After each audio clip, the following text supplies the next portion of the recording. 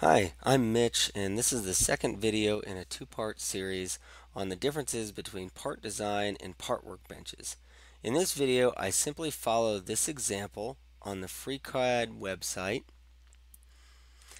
In this page dedicated specifically to this topic. If you really want to understand this topic well, I suggest that you Follow along uh, from this site during the video, then go read this entire page. Then go back to using only Part Design Workbench until you have it mastered. Okay, so we're in FreeCAD. We're going to do the part design version of this first. So we'll create new. We'll come up here to start and we'll go down to the part design workbench. And then we'll uh, start Sketcher from there. And we'll make our first sketch in the XZ plane. And now all I need to do is uh, draw this initial shape here. You can see all the dimensions. So I'm just going to follow this quickly and I'll fast forward through most of it.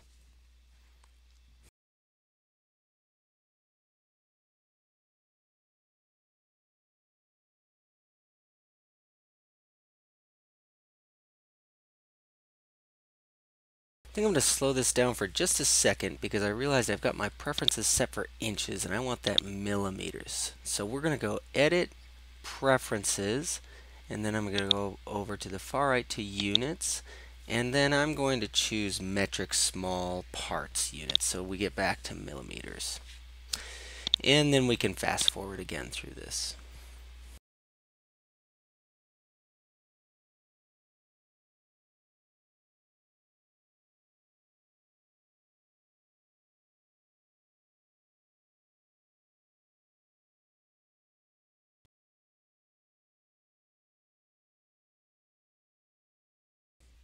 So I'm going to slow this down one more time because I don't think I've shown how to use this particular feature before. I've got this thing fully constrained, but I still need these two fillets, the one in the top right corner that says R3 millimeters and then the bottom inside corner. And I'm going to assume that one's also supposed to be 3 millimeters. To do that, I'm going to use a constraint preserving fillet. And the reason for that is that we have these sharp corners that our constraints are based off of, and when I put the fillet on, I'm going to lose that, but I want to maintain that constraint. So I'm going to use a constraint preserving fillet for both of these corners.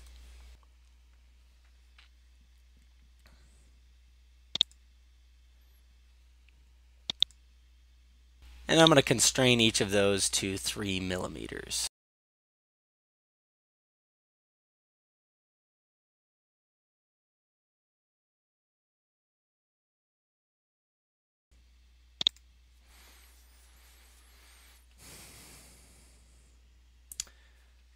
Okay, so I've got that fully constrained, so we can close this and go back to our model. That's our sketch. And now I want to, you can see that, um, and now step two is to revolve this around the z-axis. So we will do a revolution. It automatically picks the axis. That looks right, so we'll just say OK. And now step three is to make this uh, kind of an octagon type of shape. And so we'll go back to a create a sketch and this says to choose it in the XY plane. And there it is. And I'm going to fast forward through this as well. I just used the regular polygon tool to make a hexagon the same size as the outside diameter of the original revolution and using the link to external edge function. And then I made a concentric circle also with an outside diameter the same size as that original revolution. Okay, we've got that fully dimensioned. We can close this task. And then we can create a pocket and go through all.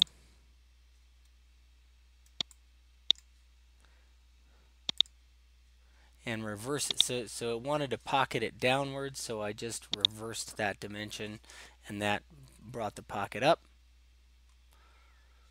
So we hit OK. And step five is to create this triangle here in the XZ plane. So again, we'll go to Sketcher, we'll pick that last plane, and we'll hit OK.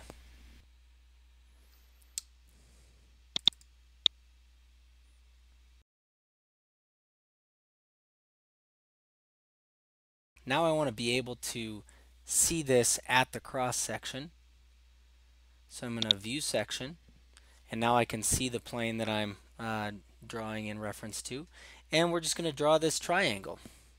I'm going to fast forward through this as well. Uh, the only thing to know about this triangle is that I had to use link to external geometry again to constrain the base of the triangle to the upper face of the flange.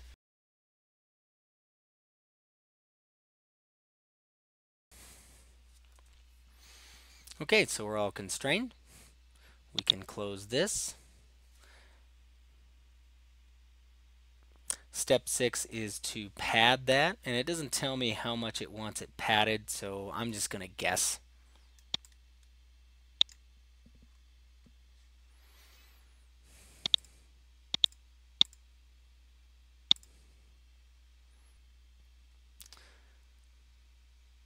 We want to pad it symmetric to plane, and I think that looks like, I don't know, maybe a 5 millimeter pad. So now steps 7, 8, and 9 are to create a counterbore hole, then revolve both the counterbore and this rib around the z-axis. The part design side of the tutorial doesn't give me the hole dimensions, but the part side of the tutorial does, so I'll reference these dimensions. So I selected the flange face to sketch the hole on and then went to Sketcher. To center the hole in this segment, I used Link to External Geometry and selected the outside edge of the hexagon. Then I switched to construction geometry and drew a line from the origin out to that external geometry and constrained it to be perpendicular to that edge. Then I constrained the center point of the circle to that construction geometry and then added the rest of the dimensions that were called out in the tutorial. That's fully constrained.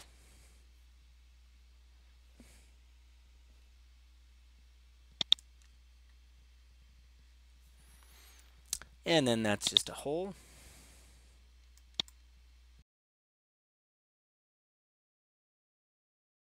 And it doesn't really tell us, but we do need to make the bigger hole here as well. So I'll select this plane again and we'll make the bigger hole. Make another sketch.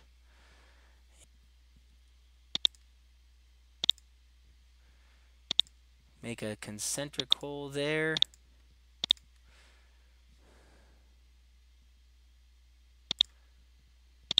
And the radius of this looks like it's supposed to be 9 millimeters.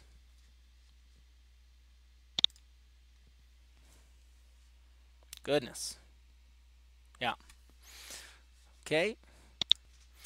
Alright, so we've got that selected and we will make a pocket, not a hole, and we will make that looks like about 8 millimeters deep.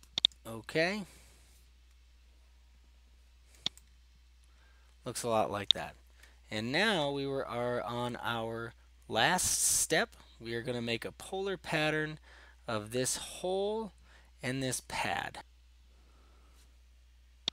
So we'll select all of those. Select polar pattern and I want three occurrences. And there it is.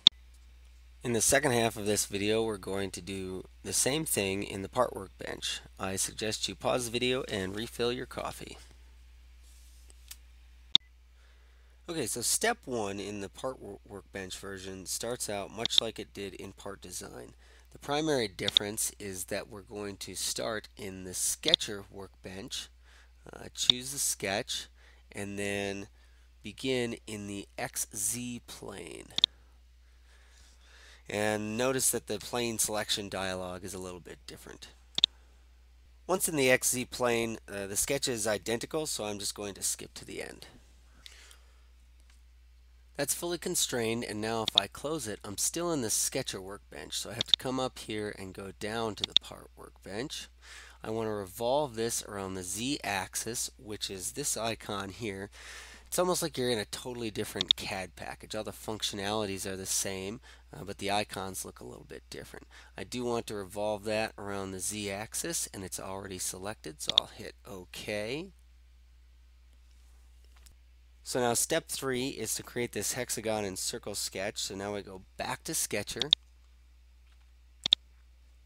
and we'll select the XY plane.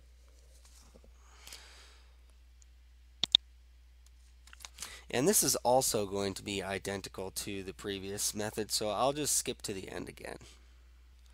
And that's done, so I'll close. Again, we have to manually return to the part workbench.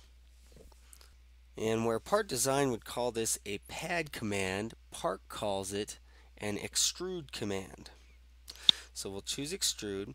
I want to extrude along the normal axis of the sketch and then I want to extrude it 12 millimeters. Okay. And there's our pad.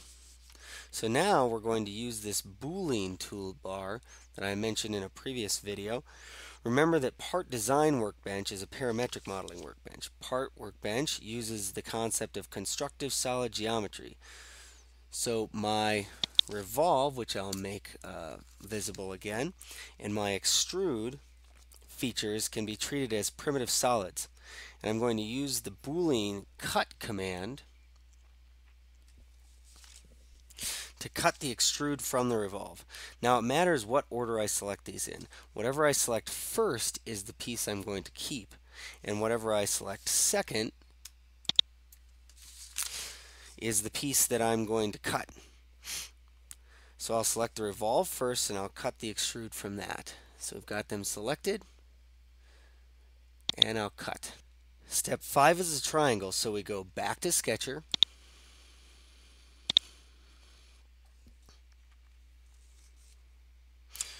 Create sketch, sketch in the XZ plane. View section, and again, the sketch process is identical to last time, so I'll skip to the end result. The sketch is fully confined, so I'll close. I'll go back to the part workbench manually again. It's already selected. So I'll extrude along normal. I want 5 millimeters there. And I want symmetric. Uh, the extrusion looks right, so we'll hit OK. Now here's where things get weird. Notice that there's no polar pattern option in the part workbench and it's naughty to mix part and part design so I won't use the polar pattern option in part design. Instead I'll go to the draft workbench which is now like yet another totally new CAD package and this is called the draft modification toolbar here. And if I drop this menu down, I find a polar array. So I've got a, I'm going to choose my extrude. I'll come back to polar array. We do want to rotate it 360 degrees. We want three elements. And now you've got to be careful uh, because you can see that if I move my cursor into the workspace, Notice how all the coordinates for the center of rotation change automatically with where my cursor is. And I don't want to rotate it around this center of rotation. I want to rotate it around the origin. So I've got to come back here and hit 0 and 0. And so that, that feature there is unique to the draft workbench. Let's keep my cursor in here. That all looks good. I'll hit OK. And there they are. Now, this looks like a single part, but it's actually two separate entities that happen to be touching. So we'll go back to the part workbench.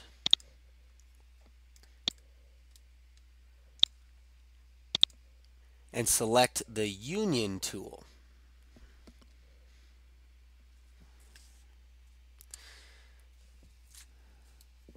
And we have to select both of these pieces and union. And now you can see that in the feature tree, the cut and polar array have been combined in the fusion. So now we're going to repeat a few of these concepts to make this counterbore hole.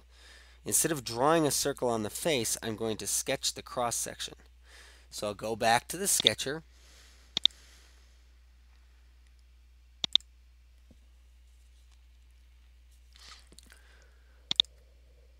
new sketch, and I will sketch in the XZ plane, view section, sketch half the cross section,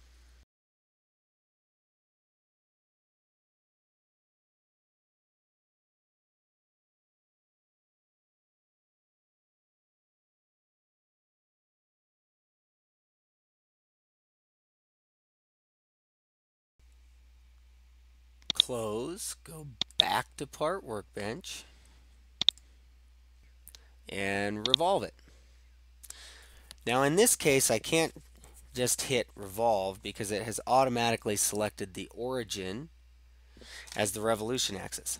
I don't want to revolve it around the origin. So first I'll go back to the feature tree and I'll press the spacebar. That toggles my fusion visibility off so I have a better view of my sketch. I'll go back to the revolve task and come down to select reference. Now I'll select the outside edge of this sketch and hit revolve.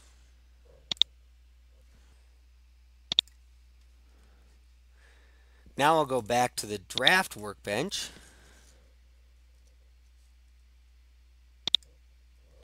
and repeat the polar array. And now we'll cut the array from the fusion. So we select fusion first. Oopsie. So we select the fusion first array, bring back to our part workbench, and cut.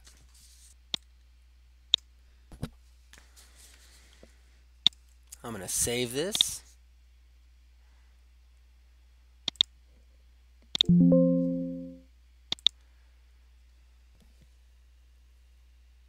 I'm going to open my previous parametric example.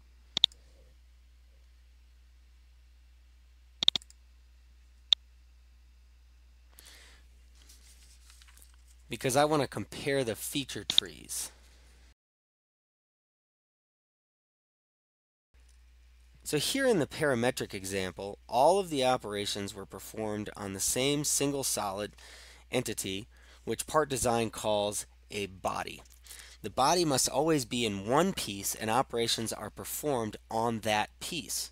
Here in the FreeCAD CSG example, we can see the history of all the separate entities we created, which we then combine via Boolean operations in order to create the final step we had to continuously create new separate bodies, which is expressly disallowed in the part design. To me, the constructive ge solid geometry style of modeling in part workbench is less intuitive than the parametric modeling of the part design workbench. There's also a lot more clicking manually between part and sketcher, and I don't love that I have to go to the draft workbench to find some of the tools I need. Now the FreeCAD help page where this example came from has a brief but excellent description of these concepts and the ramifications if you do need to mix the workbenches. I recommend reading that next. I hope that was helpful.